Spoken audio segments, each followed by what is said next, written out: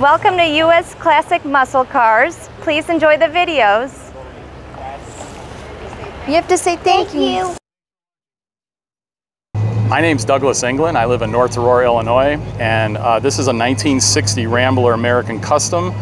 Uh, my mom and dad bought the car back a long time ago, and they kept it in the garage for many years and never really drove it much. Uh, right now, the car's only got 35,000 miles on it, and um, I was always fascinated with the car as I was growing up. And uh, when my dad retired 20 years ago, he left me the car and told me to never sell it, uh, never uh, let it get out of the family. And uh, I had to repaint the car because the paint had faded on it a little bit. But other than that, it's all original.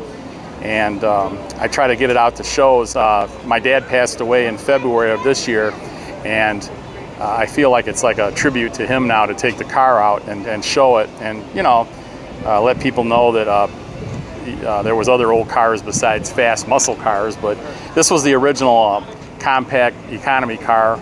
They get probably about 30 to um, 35 miles per gallon depending on the engine combination. This one's kind of neat. It's uh, got the Continental tire on the back and uh, it's the two colors are Alamo beige on the bottom with cinnamon bronze on the top. But like I said, everything else is original on it. The chrome, the hubcaps, all the interior, everything's all original. It's never been touched. As I was saying, the, the car is all original except for the paint. Well, we had to redo the paint because it had cracked and stuff over the years. Um, all the chrome's original, and if you want to look, this has got the optional spinner hubcaps, which was kind of unusual on a Rambler. And um, the interior is all original. It's never been recovered or replaced. Uh, I just kind of cleaned it the best I could. Sure. Can we open up the And um, it's got the original seat belts and stuff still in it. Look at that. Yeah, too much stress. My dad put the um, cover on the steering wheel because it's such a large steering wheel. You need to get a better grip on it. It has no power steering, so it's. Uh, Now, is that compass original? uh, yes, it is. My parents put that in there because my mom used to yell at my dad about getting lost. So, and it still works. That's, that's Yeah. cool. That is Yeah. The back seat actually is big for it. Yeah. Yeah, because it goes right over the wheelbase in the back. So, but I know when you're little kids, that you do fit into it pretty good. Uh, the rare part about this car is uh, it is the custom model, which has got the overhead six in it instead of the flathead. Okay. Uh, they only made it for half a year uh, in 1960. So, of this particular model, they only made like 2,800 of them. right. so there's very the few overhead- left. Now the overhead versus the flat, what's the difference? Uh, it's got more horsepower, more torque. okay. And um, it runs a little smoother. It's a little more efficient. Uh, and the reason why they have this big bar here is because it has more torque and it gives.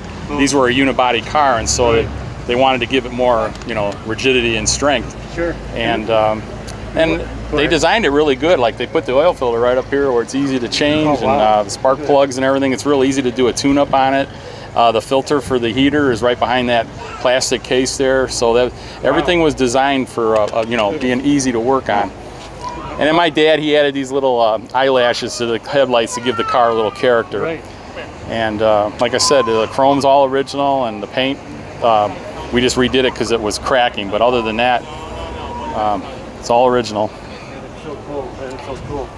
And uh, how much uh, horsepower in this? Uh, this car's got 130 horsepower, which there's hardly any weight, so it's, it's actually quite a, quite a bit. It, it picks up and goes pretty good. And then, uh, are we looking at the uh, the vent right here? Yeah, that's the. They were the first car to uh, actually take in the air uh, uh, under the windshield there for their heating system. So And can we take another peek at the inside? That's all. These are the uh, one of the only cars back then that had reclining seats, which my wife likes nowadays. Uh-huh. Uh, most cars back then did not have reclining seats. And how many uh, gears? Uh, it's a three-speed automatic. It's the same automatic that like Ford bought and Studebaker and all the other car companies. It's made by Borg Warner, and um, it's pretty efficient, really. I mean, a lot. Uh, Chevy had the Power Glide, which was only two speeds. So the car was bought brand new in Aurora, Illinois. I still have a copy of the original window sticker on it. So That's so I cool. back then, How much it cost? yeah, it was two thousand six hundred and seven dollars. Wow. But that was a lot of money Yeah, for a Rambler, but it had all the extra equipment on it. So two-tone paint, Continental, uh, push-button radio, uh, clock, all that stuff was extra. Well, thanks for watching, and once again, my name is Douglas England from uh, North Aurora, and I have a lot of Ramblers, but this is very sentimental to me because it was my mom and dad's car. We'd like to show your car next, so please leave us a comment, subscribe, and like us.